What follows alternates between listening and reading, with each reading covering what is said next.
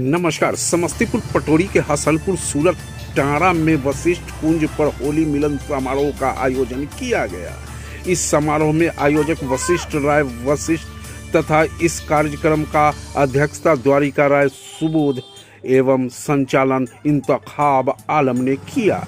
इस समारोह में आए तमाम अतिथियों को टोपी पहनाकर अबीर से चंदन लगाया गया। मानो आज ही होली है। लोगों में खुशी के साथ साथ कवियों ने कविता होली गीत से गूंजता रहा। सभी अपने अपने अंदाज में कवि, कविता सुनाते रहे, लोग झूमते रहे। बी आर जे टीवी से समस्तीपुर संवाददाता बद्र जमान सारी।